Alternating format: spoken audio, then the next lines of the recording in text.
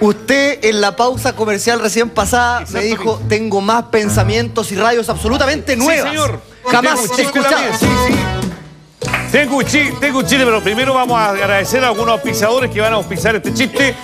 Agradecemos a Fábrica de Colalé, Pepsodent, los únicos con control sarro. También agradecemos a Agencia de Turismo El Dentista, la que conoce todas las picas. También a... a- a-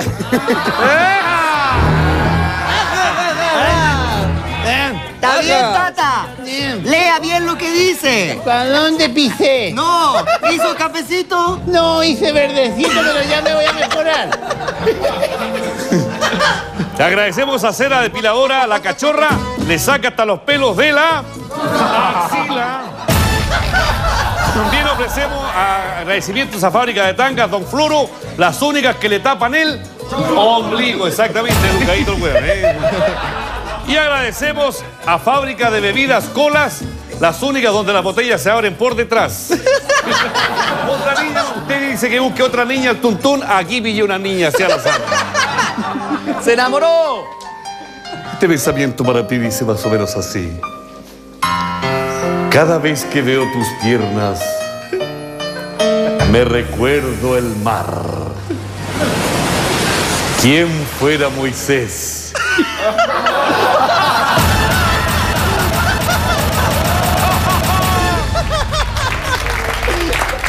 Este otro va dedicado.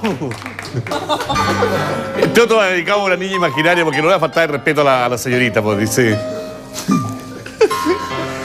Me gustaría darte toda mi leche.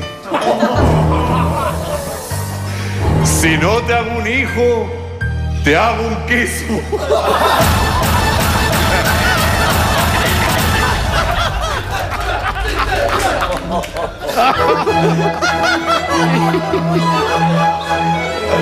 ¡Grande Charlie! Y ahora existe, ya, nada, güey, ya.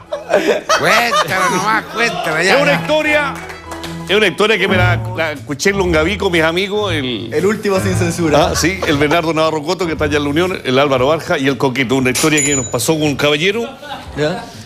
del frente, ah, que se llama, eh, se llama Guillermo Busto, que tenía el pool. Entonces dice que él era admirador de la Brigitte Bardot. Ya. Loco por la Brigitte Bardot. Esa era ídola tuya de tu época. Gran actriz francesa. Mi- 1800 1842.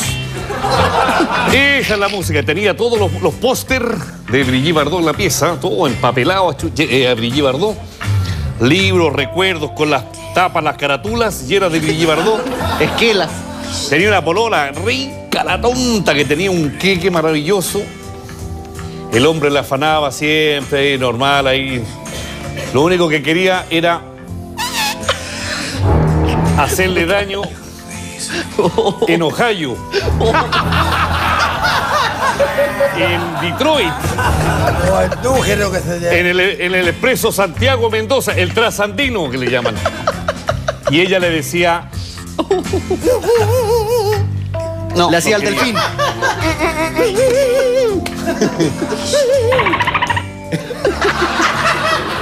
El delfín gritó justamente. Yo digo, le echo, me echo un escupito. aceite, aceite comía.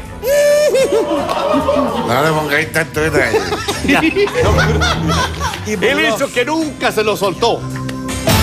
Se casaron 40 años de matrimonio. Y ella le dijo al marido, viénete para la casa en la noche porque te tengo una sorpresa. Viene. Viénete para acá nomás. Viénete para aquí. Se fue para la casa el hombre. Eso que siempre me ibas pedido, te lo voy a soltártelo.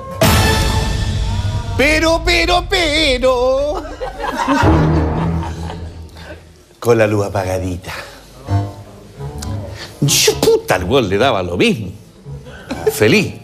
Pero ella, para sorprenderlo, se iba tatuado en cada cachete la B larga de la Brigitte Bardot. Qué lindo B, detalle. B, B. Un detalle amoroso, detalle. tierno, lógico. Sí, lógico. Lógico. Bebé. B, B.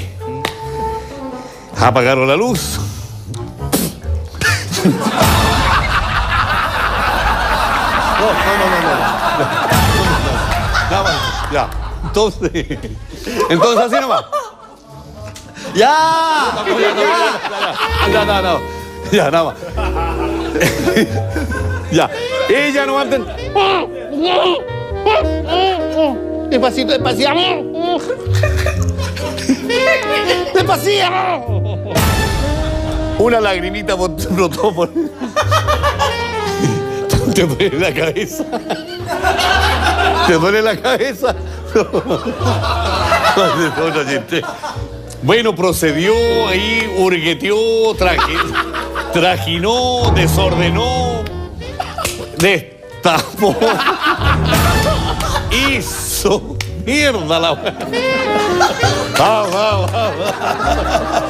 Huevió hasta que se aburrió el huevón. Puta, con los años que le iba costado. Y ahora le dijo ella, "Ah, y ahora prende la luz. Él se para ahí todo campante. Prende la luz. Mira, lee. Y le miró el culo le dijo, ¿Bob? ¿Quién es Bob?